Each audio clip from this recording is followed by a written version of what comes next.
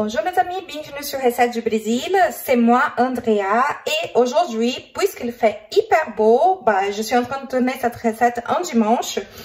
Et franchement, il fait super beau, il y a un joli soleil. Alors, j'ai décidé de décongeler des ailes de poulet que j'avais dans mon congélateur. Et les voici. Et du coup, je vais vous montrer Comment faire pour les préparer pour un très beau barbecue? Comment faire une belle grillade? Je suis pas une spécialiste pour la découpe du poulet, mais euh, je vais juste vous montrer à peu près euh, comment faire. Donc cette partie-là, je vais la garder pour faire une soupe, euh, une, sorte de soupe brésilienne qu'on appelle canja un autre jour, parce que bon, pour les barbecues, bon, elle est moins, moins sexy là. On va essayer de l'enlever. On voit ici à peu près où est le joint. Et boum, on la coupe et on laisse de côté. Et ici, pareil. Donc, on va séparer la petite cuisse de, de cette partie-là. Voilà. Et on met dans un bol. Encore une fois, celle-là. On tourne. On essaye de voir où c'est. Ben, c'est à peu près ici. Voilà. Là, j'ai trouvé exactement aussi. Et voilà, je vais faire ça avec toutes mes ailes et je reviens pour la marinade. J'ai ici mon poulet qui a été euh, coupé comme je vous ai montré. Et maintenant, on va commencer tout de suite à faire la marinade. Je vais utiliser un tout petit robot, pas un gros. Voilà, c'est suffisant pour la marinade. Je prendre un, un oignon. Je prends ce petit bol pour faire une sorte de poubelle. Voilà. Je l'ai passé un petit peu sous l'eau. Apparemment, ça aide à ne pas pleurer. Voilà, je les coupe tout simplement en quart. J'ai enlevé cette partie-là parce qu'il n'est pas super frais.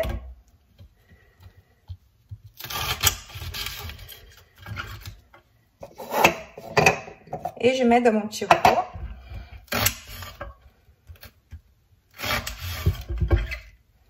C'est brouillé mon lave-vaisselle. Hein. Je suis juste au-dessus de mon lave-vaisselle.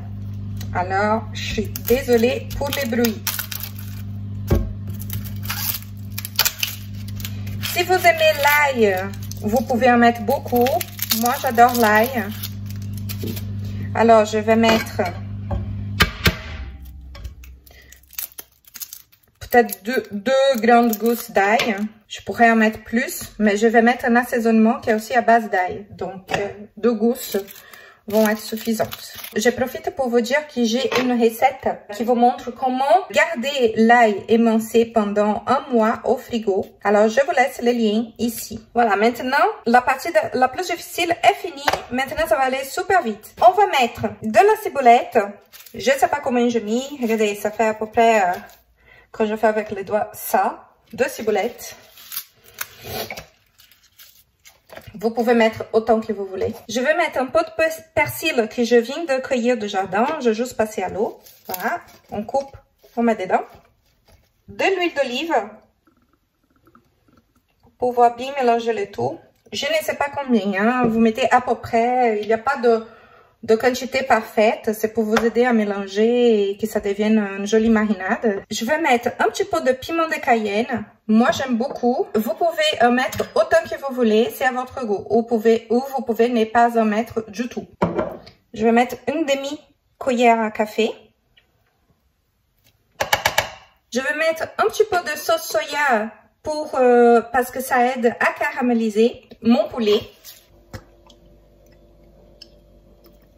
Voilà, un petit peu. Moi, j'adore la moutarde jaune, comme ça. C'est la moutarde américaine, mais bien évidemment, vous pouvez mettre la moutarde que vous avez chez vous. Je vais mettre un petit peu d'assaisonnement à base d'ail, Arifana, que vous pouvez trouver sur mon, mon site e-commerce de produits brésiliens, produits du Brésil. Donc, je vous laisse ici l'adresse du site. Alors, ça, c'est juste du sel et de l'ail, hein, mais ça donne un super bon goût. Je ne vais pas en mettre énormément.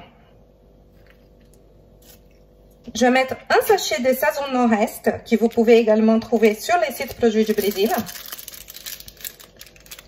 C'est un, assaisonnement qui est un mélange de plusieurs épices, donc oignons, persil, euh, piment rouge, un petit peu de coriandre, euh, voilà. Et je trouve que ça donne un super bon goût. Quand je fais du poulet, j'adore ajouter de l'estragon. Je pense que ça va hyper bien avec les poulets. Poulet et estragon, c'est une combinaison incroyable. Je vais mettre une petite cuillère à café. Je vais mettre aussi une cuillère à café de origan. D'origan. On va faire la liaison. Andrea, c'est beaucoup d'épices. Oui, mais c'est pour ça que ça va être bon. Si on ne met pas beaucoup d'épices, ben, le poulet, euh, il va pas avoir beaucoup de goût. Croyez-moi, ça va être vraiment un délice pour votre barbecue. Du poivre, poivre noir. Vous mettez autant que vous voulez. Vous pouvez même en rajouter après. Je mets aussi du paprika piquant.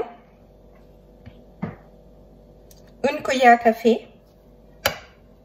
Après, je vais goûter ma marinade pour voir si j'ai besoin d'ajuster les sels ou pas. Si vous voulez, vous pouvez aussi mettre du vin blanc ou alors un petit peu de bière, c'est comme vous voulez. Et on mélange.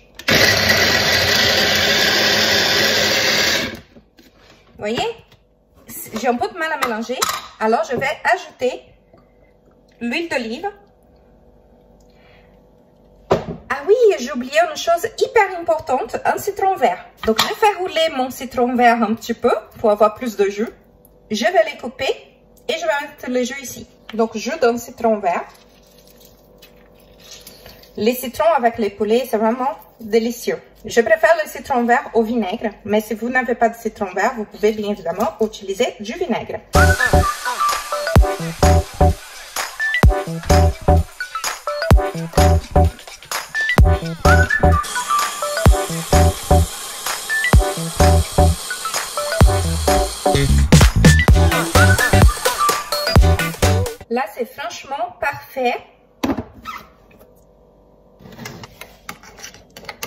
Voici la texture de ma marinade et je vais la mettre sur mon poulet.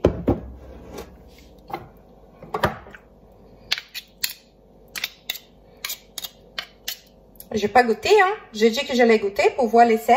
Je vais goûter un petit peu. Alors. Oui. Elle est bien salée, bien assaisonnée. C'est un délice. Parfait. Et c'est aussi piquant, comme j'aime. Mais n'ayez pas peur de mettre un petit peu de piquant. Parce que quand vous faites la cuisson, ça va pas être forcément très très piquant. Euh, quand vous goûtez comme ça, ça fait un peu plus piquant. Mais franchement, sur le poulet, ça perd un peu de force.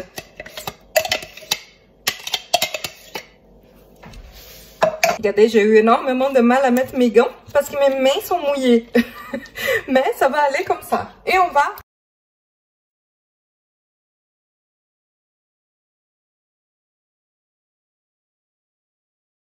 Vous ne pouvez pas imaginer la bonne odeur. Donc, on va laisser reposer pendant... Euh, l'idéal, c'est de laisser reposer quelques heures. Hein. Deux heures au moins. Mais si vous n'avez pas le temps, laissez seulement 30 euh, minutes. Voilà. Et hop, on le met direct au barbecue. Voilà les amis, j'espère que vous avez apprécié cette recette. Après, je ferai une photo pour vous montrer les résultats euh, des ailes de poulet parce que là, on va pas les mettre au barbecue tout de suite. Mais je vais laisser ici la photo du résultat et vous allez voir que c'est un délice. Et si vous avez fait cette recette à la maison, n'oubliez pas de laisser votre commentaire ci-dessus, euh, vos suggestions. Aussi, n'oubliez pas de liker la page et de vous abonner. Je vous remercie d'avoir resté avec moi. Restez encore un petit peu plus pour voir les résultats. Et je vous dis à très bientôt sur Recette du Brésil.